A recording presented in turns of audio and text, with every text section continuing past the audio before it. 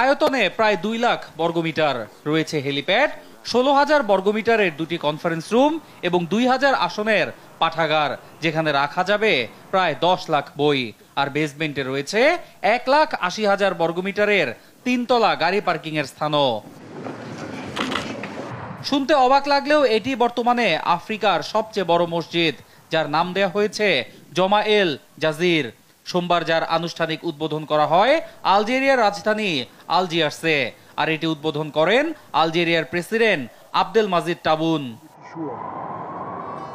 শুধু আফ্রিকা নয়, এরই মধ্যে বিশ্বের তৃতীয় বৃহত্তম মসজিদের তকমাও পেয়েছে বিশাল এই স্থাপনাটি। সৌদি আরবের পবিত্র নগরী, মক্কার মসজিদুল হারাম ও পবিত্র মদিনার মসজিদে নববীর পরই জমা এল জাজিরের অবস্থান। আর এতে একসঙ্গে নামাজ আদায় করতে পারবেন প্রায় এক লাখ বিশ হাজার মুসল্লি। ভূমধ্য সাগরের উপকূল ঘেঁষে নির্মাণ করা এ মসজিদটির মূল মিনারের উচ্চতা আটশো উনসত্তর ফুট। বিশ্বের সবচেয়ে উঁচু মিনারও এটি। মসজিদটি মূলত আলজেরিয়ার সাবেক প্রেসিডেন্ট আব্দুল আজিজ বুতেফ্লিকার একটি প্রকল্প ছিল। আলজেরিয়ায় তিনি আফ্রিকার সবচেয়ে বড় মসজিদ চালু করতে চেয়েছিলেন। মরক্কোর ক্যাসাবল্যাঙ্কার দ্বিতীয় হাসান মসজিদের মতোই এর নাম দিয়েছিলেন আব্দুল আজিজ বুতেফ্লিকা মসজিদ।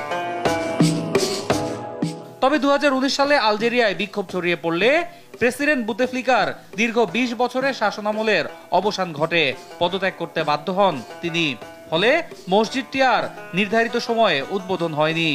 এমনকি এর নামকরণেও আসে পরিবর্তন। যদিও দু হাজার উনিশ থেকেই দেশি বিদেশি পর্যটকদের জন্য এতদিন উন্মুক্ত ছিল মসজিদটি। বাকি ছিল কেবল আনুষ্ঠানিক উদ্বোধন। বিশাল মসজিদ নির্মাণে ব্যয় হয়েছে প্রায় নব্বই কোটি মার্কিন ডলার।